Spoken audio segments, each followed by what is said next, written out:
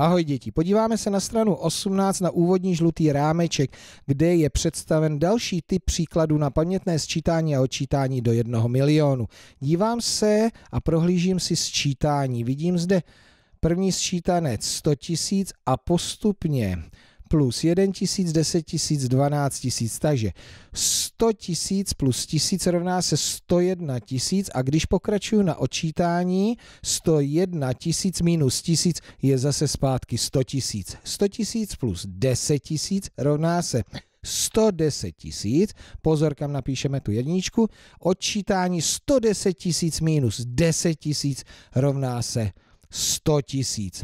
Poslední řádek 100 tisíc plus 12 tisíc rovná se 112 tisíc, 112 tisíc minus 12 tisíc je stále těch 100 tisíc. Pojďme na první cvičení.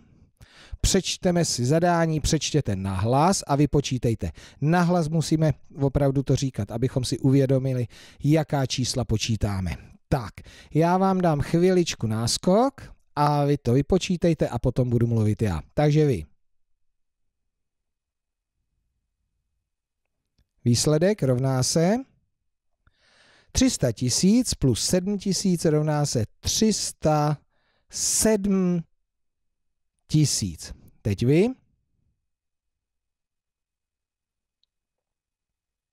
Rovná se? Dobře, možná, že jste byli rychlejší. 406 tisíc minus 6 tisíc rovná se 400 tisíc. Vy? Rovná se 708 tisíc minus 8 tisíc rovná se 700 tisíc. Poslední.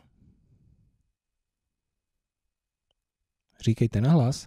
900 tisíc plus 73 tisíc 973 tisíc. No a vy máte připravený papír, tušku, chvíli přerušíte video a dopočítáte si B a C a za chvíli to společně zkontrolujeme.